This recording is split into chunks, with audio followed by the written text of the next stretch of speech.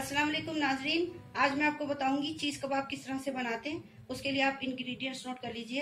Half K ji boneless chicken half K G boneless thigh two large size onion four tablespoon green coriander seven green chillies eight tablespoon cream one egg one tablespoon red chilli powder one tablespoon red chilli flakes one tablespoon ginger powder one tablespoon garlic powder one tablespoon garam masala powder one teaspoon nut nutmeg and mace powder one tablespoon lemon juice two tablespoon seekh kebab masala one tablespoon salt और to taste one cup shredded cheddar cheese and two bread slices अब हम bread slices के ऊपर इस cream को डाल के थोड़ी देर के लिए रख देंगे। अब हम एक कढ़ाई में प्याज को डालेंगे और हल्की आँच पर इसको साटे करेंगे। इसके अंदर ना मैंने घी डाला है, ना ऑयल और ना पानी। इन सब चीज़ों के बगैर हमने इसको क्रिस्टल बनाना है। देखिए, ये अब क्रिस्टल हो गई है, इसको मैं प्लेट में निकाल कर ठंडा कर लूँगी।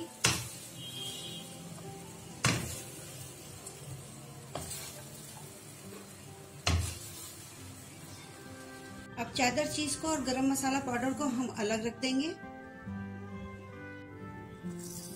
बाकी के सारे मसाले अब हम कीमे में डाल देंगे।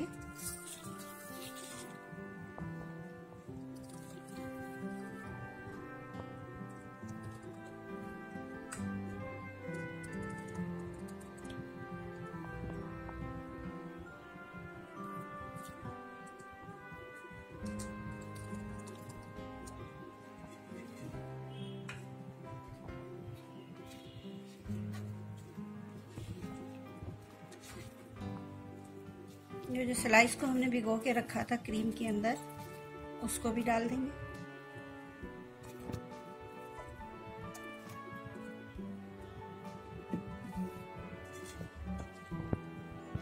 प्याज को जो हमने सॉटे किया था, वो भी इसके अंदर डाल देंगे। इसको हमने अच्छी तरह ठंडा कर लिया है।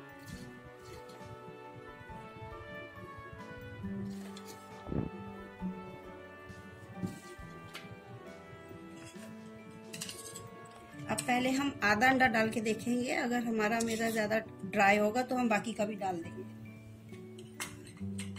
अब इन सब चीज़ों को मैं ग्राइंड कर लूँगी। सारे कीमे को अच्छी तरह ग्राइंड करके अब मैंने इसे ये प्लास्टिक रैप से रैप कर देना है।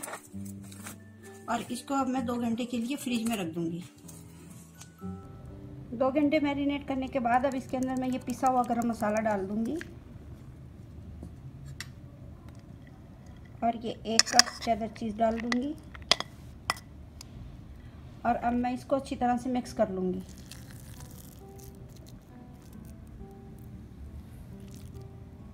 अब हम इसमें से थोड़ा सा मैदा लेंगे और इसको सीख कबाब की शक्ल दे देंगे। बाकी के सारे कबाब भी मैं इसी तरह बना के रख लूँगी। अब हम इसको शैलो फ्राई कर लेंगे। देखिए, अब दोनों तरफ़ से अच्छी तरह से फ्राई हो गए अब मैं इनको सबको निकाल लूँगी। देखिए नाजीन नहायत मज़ेदार चीज़ कबाब मुकम्मल तौर पर तैयार हो गए हैं। आप इसको इसी तरह बनाकर केचप के साथ पेश कीजिएगा। ये खाने में बहुत लजीज होते हैं, आप इन्हें ज़रूर ट्राई कीजिएगा। Please like my video and subscribe to my YouTube channel thanks for watching